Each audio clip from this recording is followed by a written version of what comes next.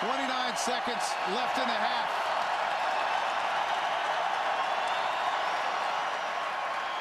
Flacco. Ball's loose. Flacco gets it back. And a flag. Yeah, Derrick Morgan came in and jumped late on Flacco.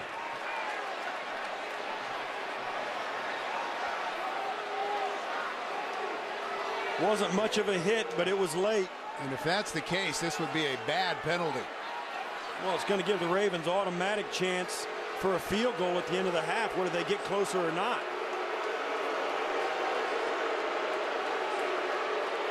Explaining it to Mike Munchak. Personal foul. Unnecessary roughness. Defense, number 90. Late hit.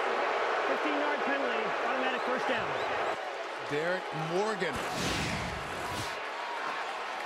And it's a great play right there, as you see, by Klug.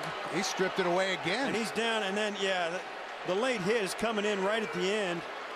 Yeah, he kind of got airborne and dove on him, and